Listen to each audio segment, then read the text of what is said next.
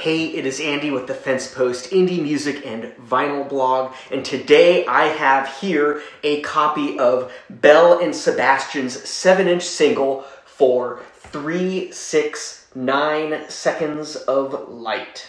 This 7 inch includes two songs. One is A Century of Fakers, and the second is Le Pazzi de la Bourgeoisie. I've always had trouble pronouncing that. So if I butchered it, I apologize. There are a few different versions of this out.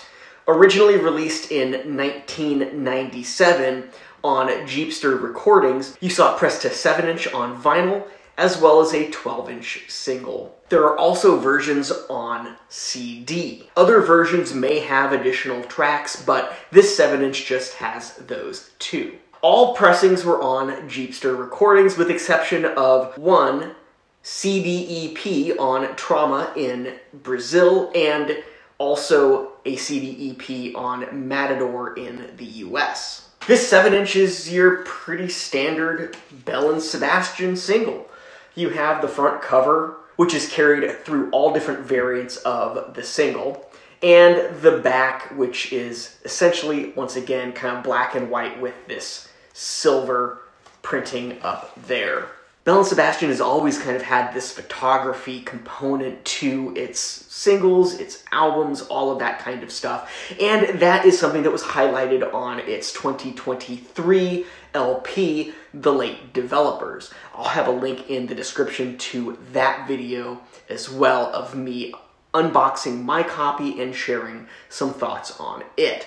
But here you have a camera and once again on the front, which is kind of this duotone photograph, as you'll see on many of their releases, with the color being white and silver. The 7-inch itself, as I noted, features two tracks. Here you have the track listing, and on the other side, looks like a light meter for photography. Both tracks on this single are well, pretty quintessential early Belle and Sebastian. Like many of the early singles, these two actually do not find their way onto a full LP by the band. Instead, to get the tracks, you had to purchase one of the singles, be it the CD EP, the 7 inch here, or the 12 inch maxi single. Ultimately, it was released on Push Barman to Open Old Wounds, a compilation which was pressed to a few different CDs, I believe, as well as a 3 LP vinyl pressing. I may cover that in the future. Do you have a favorite early Belle and Sebastian single? Let me know what your favorite is in the comments. Don't forget to like this video, subscribe to the channel, and I will see you next time.